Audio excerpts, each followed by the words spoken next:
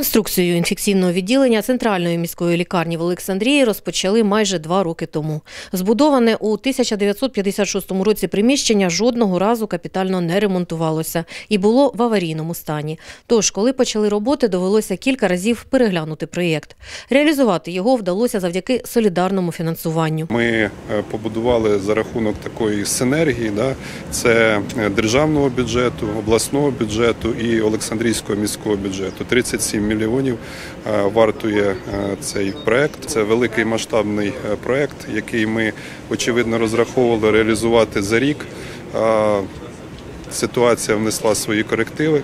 Ось, але не дивлячись на це, ми дякуємо підтримки держави, е, державної обласної адміністрації за те, що ми змогли відкрити фінансування Від старої будівлі залишилися лише стіни. Все інше покрівля, підлога, комунікації, вікна, двері нові. Дещо змінили планування приміщення, а у кожній палаті тепер є окремий санвузол.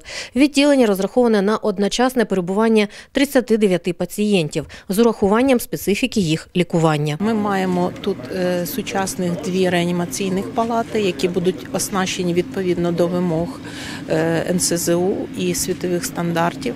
Е, Ми маємо чотири боксованих палати, які теж оснащені і мають відповідне обладнання. Всі ліжка у відділенні забезпечені централізованою подачею кисню. Це стало можливим завдяки будівництву кисневої станції в лікарні. Безперебійно кисень також подається в інші відділення закладу. Загалом облаштовано 195 точок. Е, Фактично, ми можемо говорити за реалізацію двох одночасно проєктів. Це і будівництво кисневої станції, придбання кривоциліндрів.